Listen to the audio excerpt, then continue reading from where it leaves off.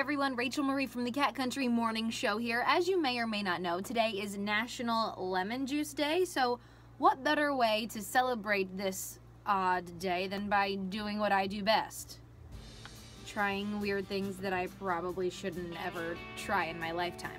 Now I'm pretty sure that lemon juice concentrate is supposed to be used for like drink mixers, like making some sort of really cool drink, whereas I just have an entire bottle of pure lemon juice concentrate for no reason in my fridge. Well, I have this. I was missing like the liquor aspect of this all, but I also have this. Any ideas? I had a few. Why I'm taking to do this? I don't know. Because I like torturing myself for your enjoyment. So yeah, I'm gonna pretty much take a shot of this lemon juice. When on National Lemon Juice Day, take a shot of lemon juice.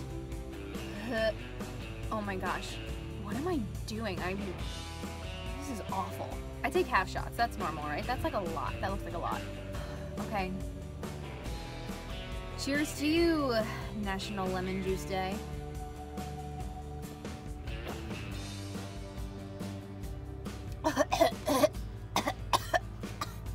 Probably should have put the trash can directly below me. I kind of missed. I like people actually say this, but I I can't even right now. Could someone finish my shot, please? Not classy at all. This is why I stick to like a martini or like a fruity drink. I don't take shots. All right, lessons learned. We don't celebrate National Lemon Juice Day. But cheers anyway. that instantly gave me a stomach ache.